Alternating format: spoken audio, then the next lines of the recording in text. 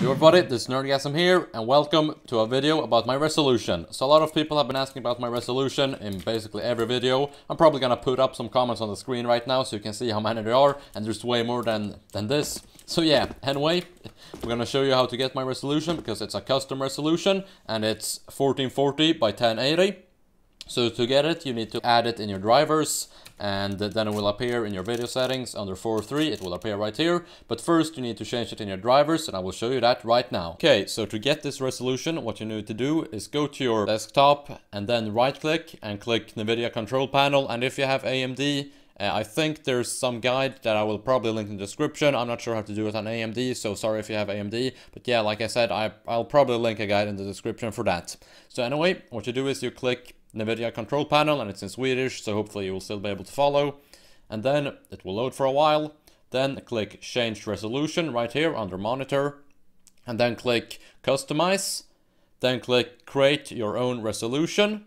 And right here, put in on horizontal, put in 1440. And yeah, then you don't need to change anything else. Just make sure it says uh, 1080 on vertical and then make sure it's the right hertz as well. I have 144 hertz monitor, so that's why it's 144. And then just click try, and it should appear right here. So then just click OK. It should say like custom, and then the resolution should be right here. So then what you do is you just exit, uh, exit the control panel, and then just open up CSGO, click options, click video settings, then aspect ratio, so like normal for 3, and then it should be at the bottom right there, the resolution you just created. Then you select it, click apply, and you should have it. Now after you've done this, you might have black bars, and if you don't want black bars, just go to the NVIDIA control panel again and click this. Uh, it's the second to last, I'm not quite sure what it's called in English, but probably like customize the desktop's uh, size and position, something like that, so click that. And then under scaling, just select the second option, and if you want black bars but have stretch, just select the one at the top. So yeah, that's how you get black bars and how you get stretched. So second is stretched and the first one is black bars. So yeah, that's basically all you have to do. Actually, I just realized there's one more thing you might need to do and that is set some stuff in the launch options. And to do that, just go to your games, your game library, and right click Counter-Strike Global Offensive, click properties, go to launch options, and then uh, let's add a new option and put in full, and then put in W space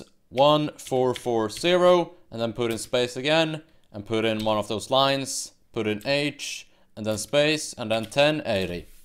Like that. You might need to put it in, you might not. I personally don't need it, but I've seen that some people need to do that. So yeah, I'm just gonna leave those commands in the description as well. But yeah, that's basically everything you need to do. So if this video helped you, uh, please make sure to click that like button and subscribe for more videos. And I will talk to you guys later. Peace out everybody, have a very nice day.